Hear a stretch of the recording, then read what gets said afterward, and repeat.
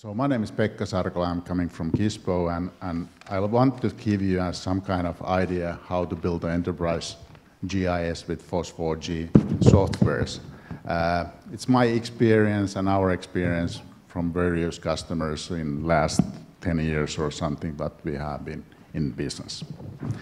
So the Gispo is company established in 2012. Now we are 25 plus people. We consult, we develop, we train our uh, users or customers, and we support.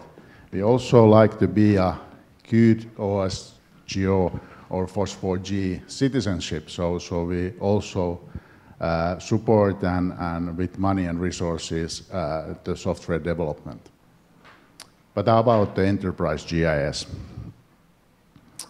Um, it's not only marketing term. You, you hear that quite often that uh, people want to sell you or you want to buy or, or some kind, somebody's consulting, but it's not only marketing term. I think it's very useful when you need to communicate uh, your general ICT people.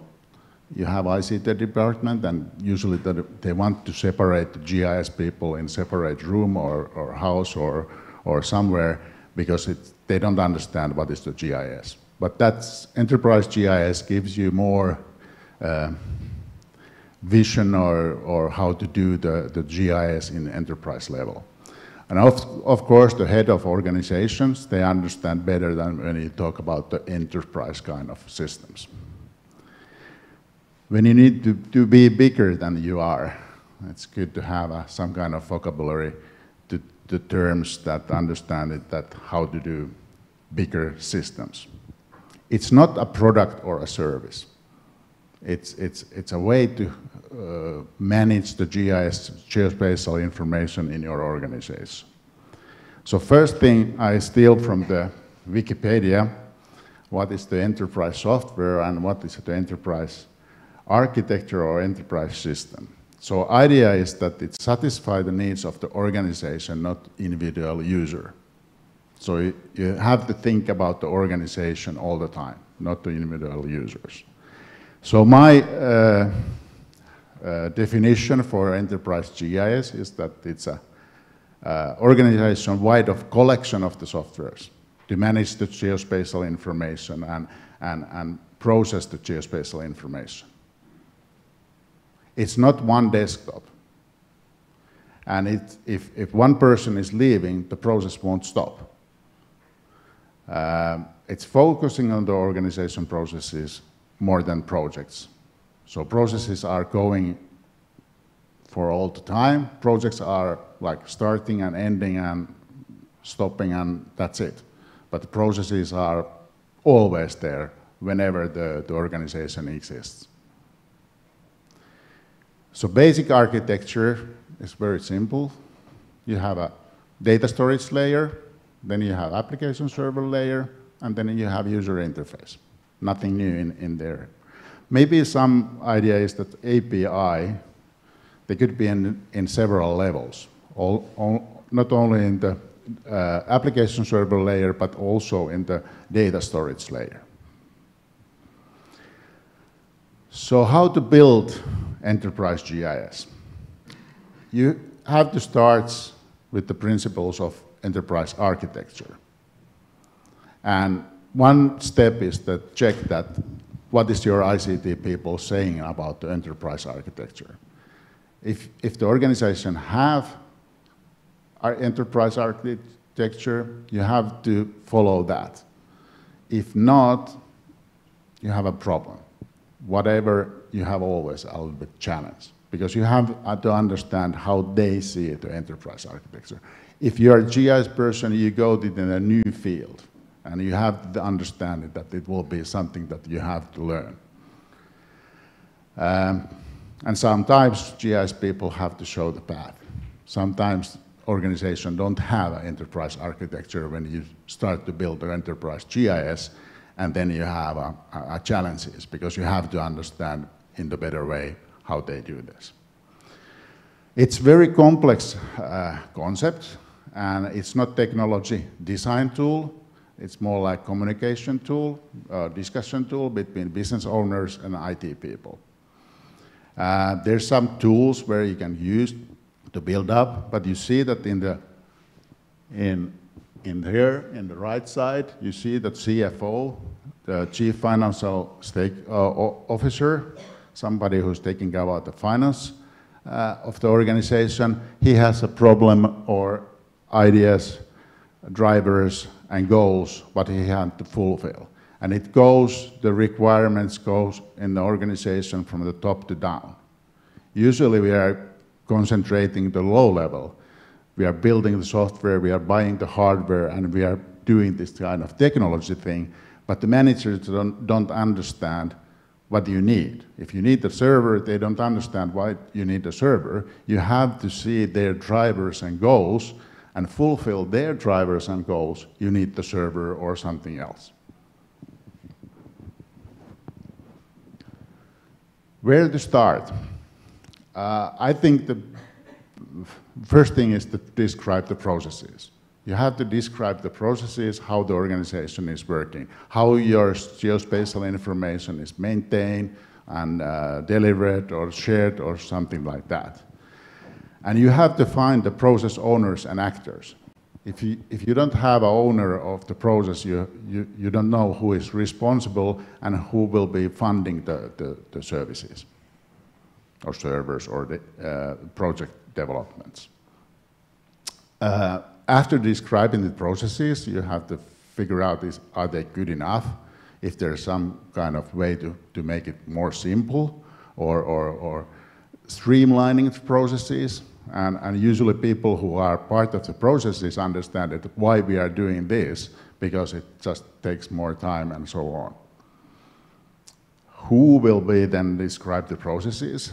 You can do it by yourself as, as an actor in, in, in, in uh, organization, but you have a problems because you understand too much may be sometimes the problem, or you are part of the problem. Consultant is also very good if you're outsider you can see, you don't understand all the details, what the, what's going on there, but fire is a good farmhand, but a bad master. Same things goes to the consults. Data architecture is an important thing, and, and you, you need to define and document the conceptual data model, logical data model, and physical data model. But very important in the, in the GIS, and uh, my feeling is, and my experience is that the uh, GIS is maybe the only field in ICT that you need some kind of external data sets always. I haven't seen any customer who is not using external data sets from the organization because it's too expensive to, for example, collect your own road network or or topographic database or aerial imagery or satellite imagery. You always use somebody else's data sets in your organization when you manage the geospatial information. Uh, you have to figure out who is, how you use the external data sets, APIs, or you, are you downloading the data, or whatever you want to do it. One important thing is also uh, understanding the data ownership who is the owner of the data. If you haven't described that in your organization, uh, you have also the difficulties to understand who maintain the data and how, if you want to open the data, who, is, who will make the decision about the opening of the data.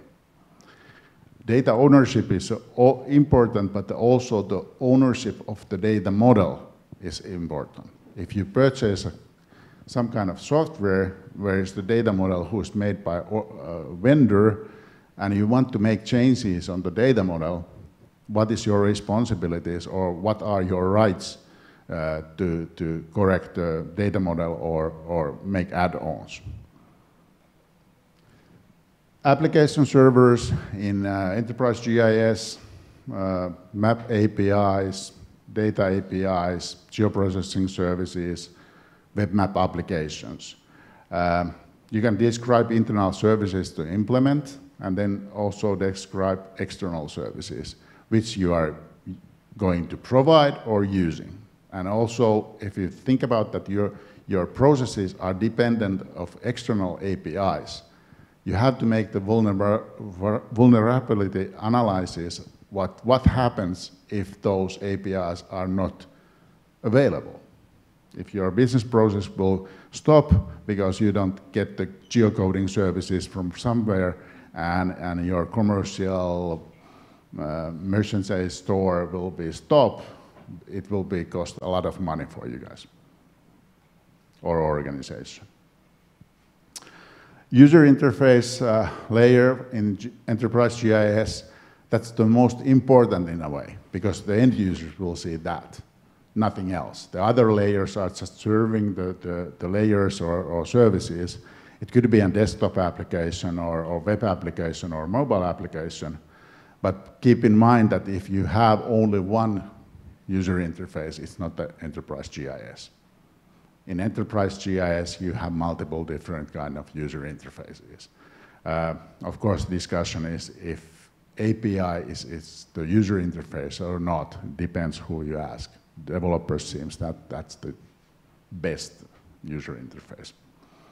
So the fast lane for enterprise GIS, describe the process, design the data layer, create data models, define the external data sources, design application server level, uh, internal and external API services, and design user interface. What tool to whom to do what? That's the, well, maybe the question. And then you have to iterate this two to three times. You can't do it like one workshop, two days, and then it's ready. You have to have some kind of calendar days or, or time to better understand what, how it goes on. And you have to communicate all the time for the, all the stakeholders, like uh, head of the organization, but also the end users, what you are going to do. If you are not communicating, there may be false expectations in the future. FOSS4G software, this is maybe a, not new for you guys, but my definition is like any GIS software with open source license is FOSS4G software. Of course, OSGeo is giving some kind of insurance about the quality of, of software and, and life cycle of the softwares. But you have to remember that choosing the right software is always a risky task.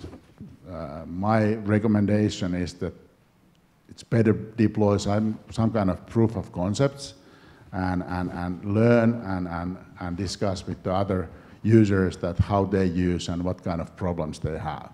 Every software has problems and challenges and, and bugs and, and, and, and, so on. So you have to think about what, what is the risk to, to, to take one software and implement your enterprise GIS on top of that.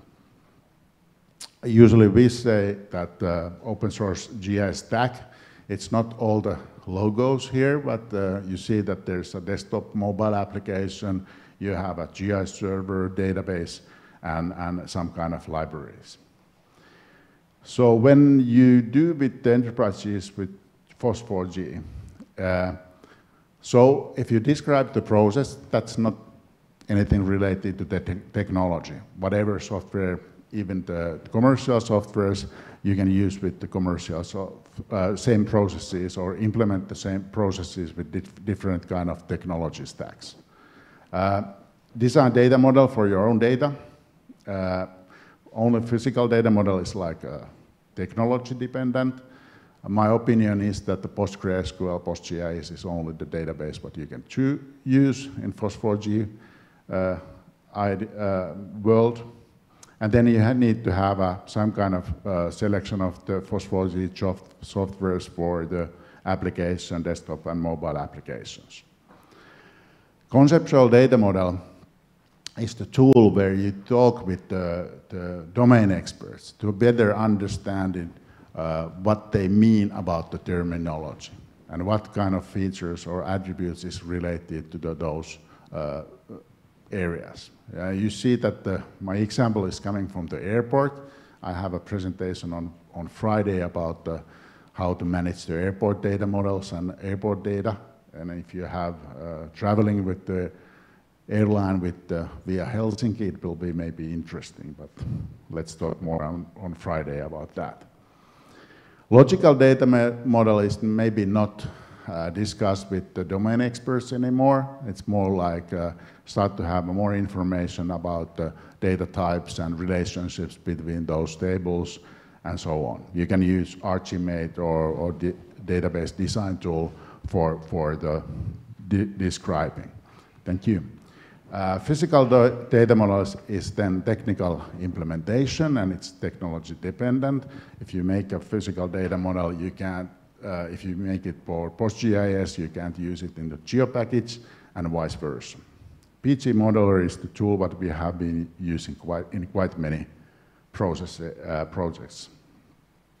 Application server, uh, what is your IT infrastructure? Windows, Linux, cloud services, uh, on premises. You have a, a, question about what kind of features do you need, APIs, uh, web maps, dashboards, geostories. In desktop application, also what kind of uh, uh IT inform, uh, operating systems you have, do you need editing environment, analysis tools, and don't underestimate the need of training and, and, and learning curves of the people if you change the software from A to B. Mobile applications, we, viewing data in the field is different than editing data in the field or data collection in the field is a little bit different. Is it using ad hoc or is it like some kind of uh, part of the process, what they do there? uh, online and offline usage, teleoperators usually say that it works all, everywhere, but if you go to in the field, it doesn't work anymore, what you do there. That's ideas. Some of the FOSS are, are FOSS 4G architectures. This is like small municipality. Uh, they have a raster data as a files, and then they have a vector data in the PostGIS, then uh, application server level with uh, QGIS server, APIs, and then Lizmap to create web maps. Usually, mainly the users are the internal users of the municipality are using the web maps, but then GIS analyst is using QGIS. Other municipalities want to have uh, external usage also, so we uh, create some kind of uh, separate environment for external stakeholder usage we just copy the data in the data storage layer from uh, some raster files and, and some part of the vector data is copied to the other server and then we have a, uh, APIs in internal usage and also the, for the external usage.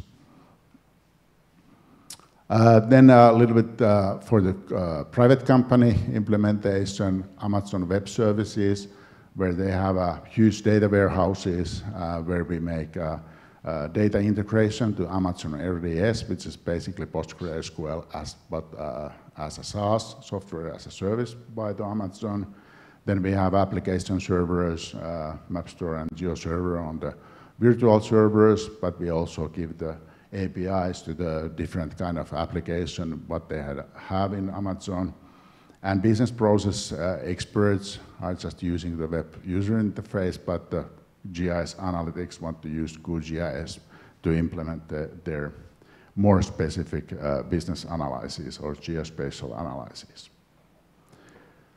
So enterprise GIS with FOSS4G, it's affordable solution for all size of organization. It's not free, but it, uh, it's open.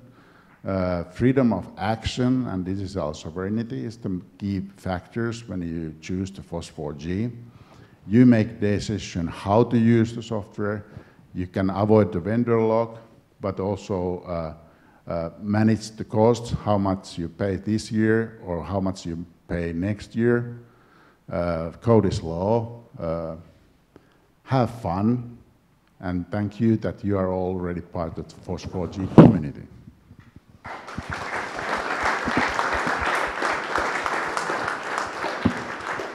Many thanks. Uh, so do we have any questions here in the room?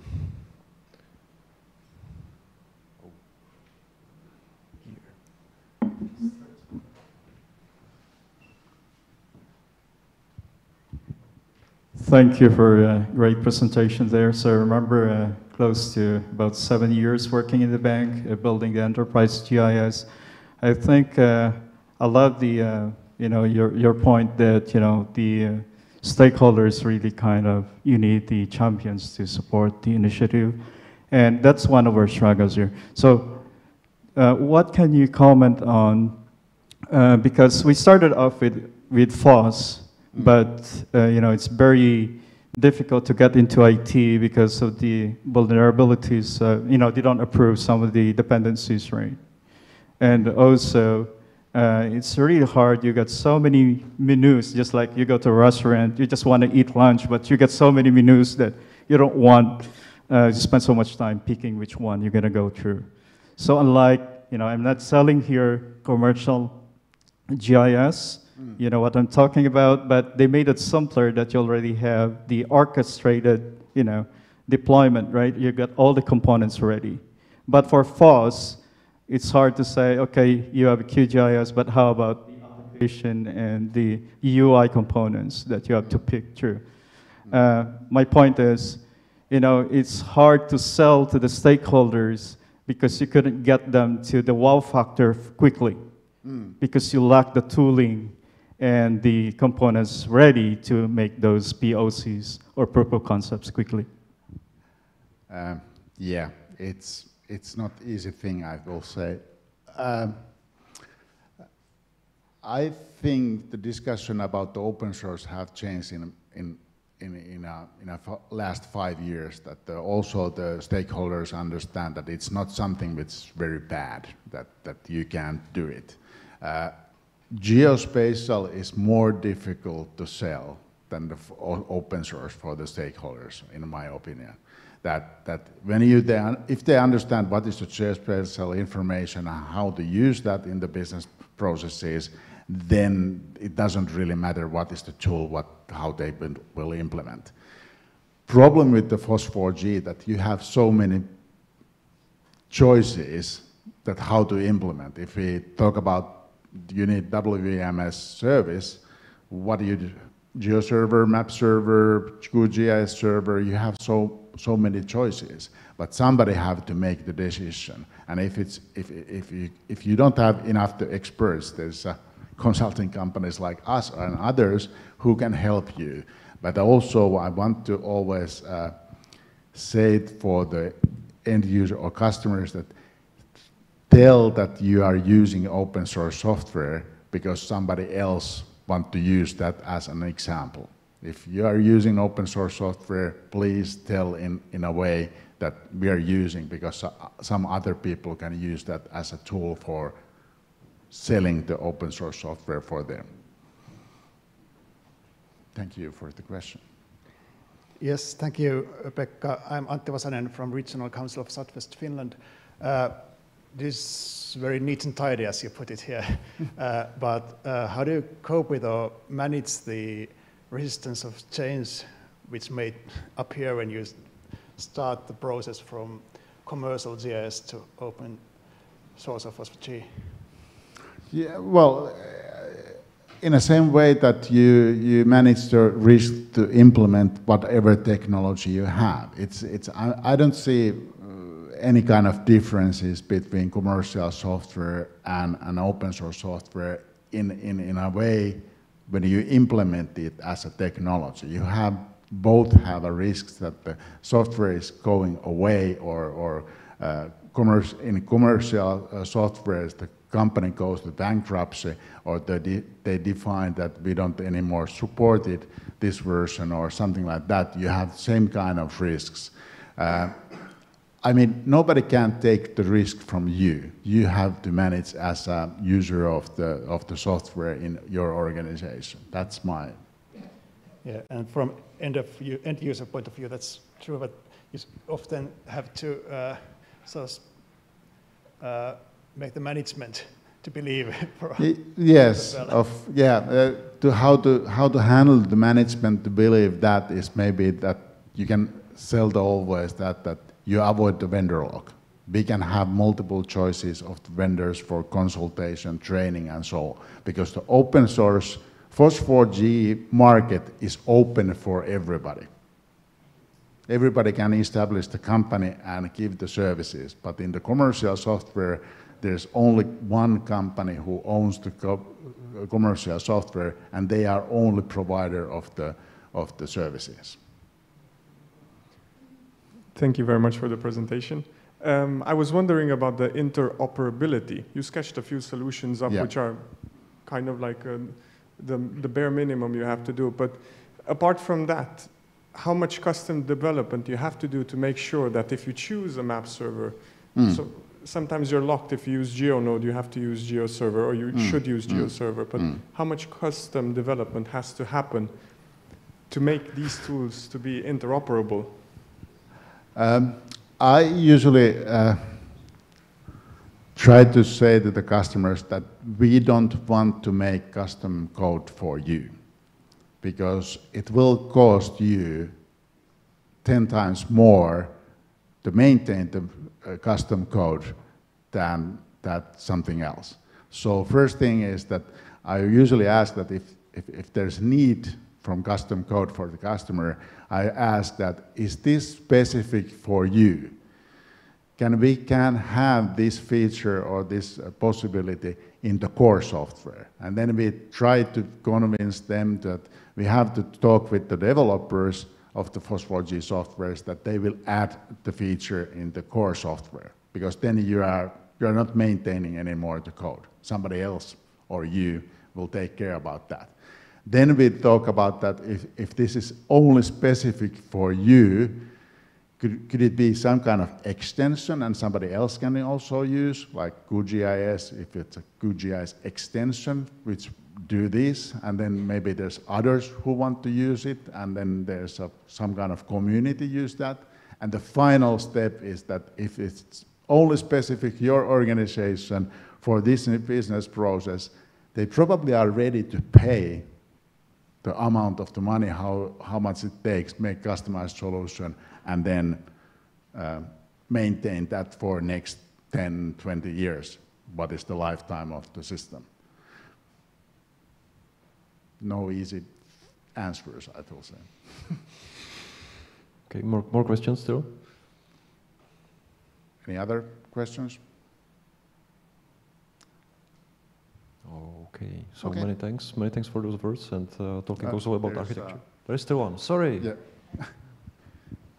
I want because you said about external data sources, and Yes. I often see that sharing data across stakeholders sometimes becomes difficult. So I Mm. wonder how you deal with that process. Um, well, well, it depends what kind of the data they are willing to have. I mean, uh, we have a customer who want to really collect some kind of information by themselves because they didn't trust the data provider or something like that. But when we analyze how much it will cost and maintain the data set in, a, in the next 10 years, they decided that it's not way to do it. Uh, one example in, in Finland is the Helsinki region uh, uh, public transportation. They have 14 municipalities, and they get the access for the municipality data. When they might make the, their journey planner system, they decided that it's, it will cost more to integrate the data uh, sources from the 14 municipalities and they think about the OpenStreet it's better solution for them. So now they are only, totally related on the open source, not the municipality data, because the integration of those municipality data sets will cost more than the risk of the balancing of the risk, of course, the OpenStreetMap, who will maintain that, and if there's vandalism or something like that. But you have to always balancing issues. One last question. Uh, um, I was wondering about the, what do you, how, what, do, what are your thoughts about uh, moving data, like motion of data, data ingestion and data pipelines? I feel, do you feel like the open source community is mature enough? Because there were a few projects like uh, Talend Geospatial and there were Mm. GeoKettle, but some of these ETL tools sort of disappeared, as I feel. Uh, well, it's uh, then, yeah. It's very. I usually see that the geospatial data sets are not. Uh, uh, how do I say that? It's bad when they are streaming this live, so I have to think what I'm saying that I'm not saying what I'm thinking. Um, um, maybe we can discuss this later on. Thank you. Thank you very much. Enjoy your lunch.